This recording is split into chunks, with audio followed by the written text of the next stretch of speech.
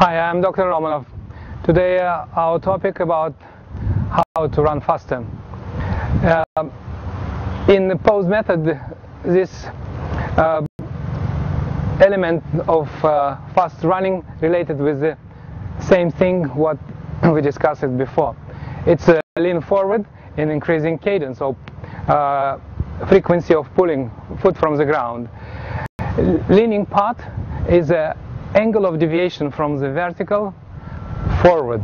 And in, in order to increase your stride length, we're increasing leaning forward. And uh, as a consequence, our stride length getting longer, not because we are moving legs apart wider.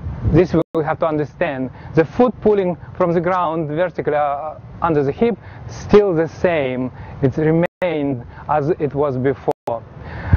Um, cadence goes together with uh, leaning forward. So cadence is recruiting, uh, recruited by falling forward. As long you're falling more and deviated your body from vertical in a higher or bigger angle, your cadence will increase because your body start moves forward faster as well. So sequences of events here goes like that.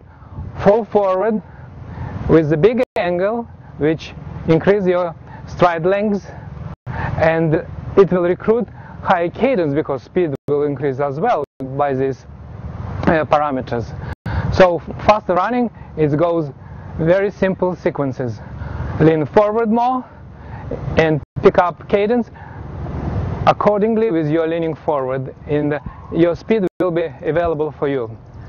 This is our topic for today. Thank you.